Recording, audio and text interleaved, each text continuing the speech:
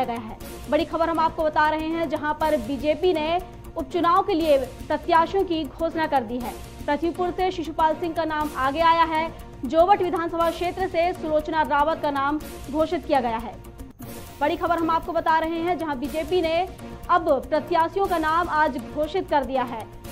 बहुत दिनों से अटकलें चल रही थी कि किसका नाम आगे आएगा। चार विधानसभा सीटों पर उपचुनाव होने थे और एक लोकसभा सीट पर, जिसको लेकर ये पूरी तैयारियाँ की जा रही थी कि किसका नाम आगे आएगा और किसका नाम नहीं आएगा, जिसको लेकर कांग्रेस पहले भी नाम घोषित कर चुकी है, लेकिन बीजेपी का नाम घोषित करना अभी बाकी था, जो कि आज बीजेपी ने उपचुनाव के उम्मीदवारों के नाम घोषित कर दिए हैं। प्रत्याशियों के नाम बीजेपी ने घोषित कर दिए हैं, जिसमें खंडवा से ज्ञानेश्वर पाटिल रेगांव से प्रतिमा बागरी, जोबट से सुलोचना रावत और पृथ्वीपुर से शिशुपाल यादव को उम्मीदवार बनाया गया है। इस पर अधिक जानकारी के लिए प्रदीप तलरेजा हमारे साथ जुड़ गए हैं। प्रदीप, उपचुनाव के लिए प्रत्याशियों की सूची आज बीजेपी ने जारी कर दी है। क्या अपडेट है?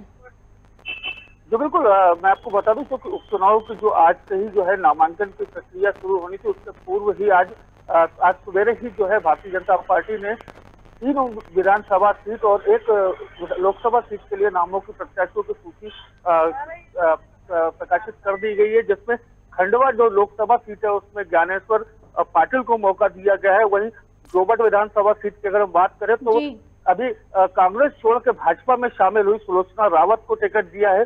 वहीं पृथ्वीपुर से शिशुपाल यादव और रैगांव से प्रतिभा बागरी को टिकट दिया गया है। माना यह जा रहा है कि चूँकि ये जो विधानसभा सीट है, लगातार जो तीनों विधानसभा सीट की अगर हम बात करें या लोकसभा सीट की अगर हम बात करें तो कहीं ना कहीं इसमें पिछड़ा वर्ग हो, चाहे आदिवासी वर्ग हो, कहीं ना कहीं इस पर जो है बड़ी अपनी पैठ रखता है। जी प्रदीप, अगर देखा जा रहा, जाए कि पिछड़ा वर्ग जो है, आदिवासी जो वर्ग है, वो कहीं ना कहीं बहुत अहम भूमिका निभाता है तो इसके लिए प्रशासन क्या कर रहा है? देखिए लगातार हम अगर बात करें हम भारतीय जनता पार्टी की करें या कांग्रेस की बात करें तो लगातार ये देखा जा रहा है कि जो ये जो दो पार्टियाँ हैं पिछड़ा वर्ग को लेकर के आदिवासी को लेकर के लग, लग, लगातार जो प्रयास कर रही है इनको जाने का प्रयास कर रही है तो कहीं ना कहीं ये देखा जाएगा कि इस बार जो वोटर्स है इस बार जो वोटर है वो कहीं ना कहीं अपनी एक अहम भूमिका निभाएगा।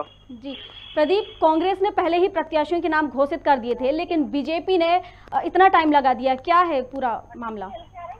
इतना विलंब क्यों हुआ? जिस प्रकार से कांग्रेस ने पहले सूची शामिल कर दी इसके बाद में जो है, अब कांग्रेस से जो भारतीय जनता पार्टी ने जब सूची अपनी दी है, उसमें कहीं ना कहीं ये देखा जा रहा है कि कांग्रेस किस प्रकार से अपने जो मतदाताओं को ले जाने के लिए जो पूरे स्थितिबद्ध तरीके से काम किए जातिगत समीकरणों को लेकर के काम किया है, उसी के आधार पर कहीं ना कहीं आज जो है भारतीय जनता पार्टी ने एक बार जो एक दाव भी खेला है, वो कहीं ना कहीं देखने में दिलचस्प रहेगा। के लिए प्रत्याशियों की घोषणा कर दी है, जिसमें खंडवा से ज्ञानेश्वर पाटिल, रेगांव से प्रतिमा बागरी जोबर से सुलोचना रावत और पृथ्वीपुर से शिशुपाल यादव को उम्मीदवार बनाया गया है।